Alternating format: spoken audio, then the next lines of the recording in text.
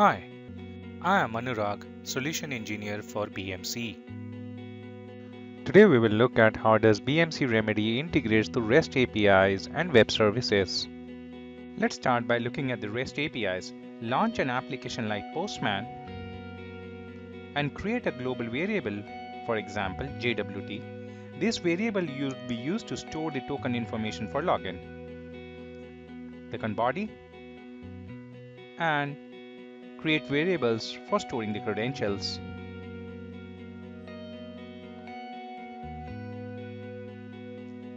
Put the URL for getting the login information and send it.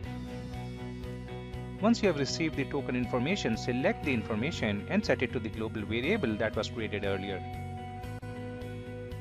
Now let's go ahead and test this login credentials token.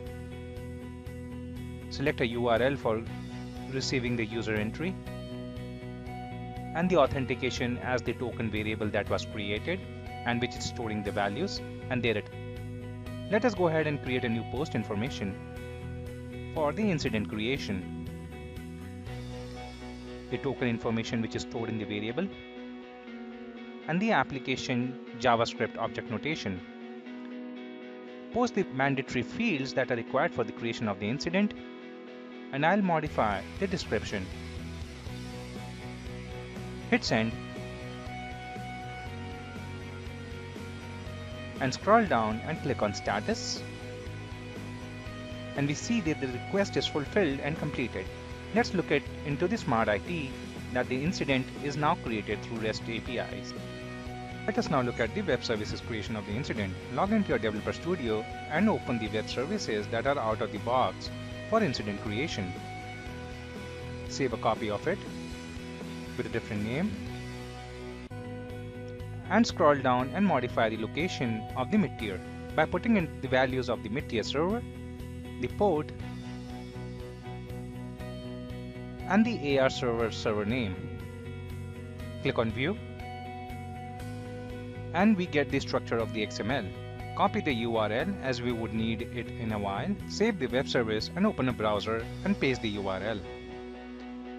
Save the structure of the XML into an XML file.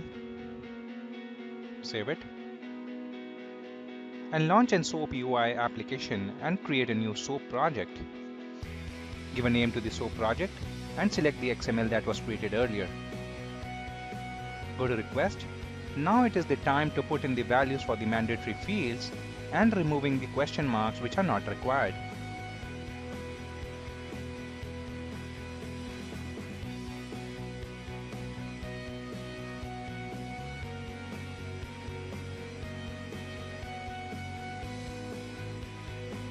Some of the fields have static values, for example, the status of new and the action of create. Once the mandatory fields have been updated, run the workflow and test it. There it is. The incident is created. Let's look at this incident in Smart IT. Here it is. This is how BMC Remedy integrates with REST APIs and web services. That brings us to the close with a fact you don't know. Thank you for watching.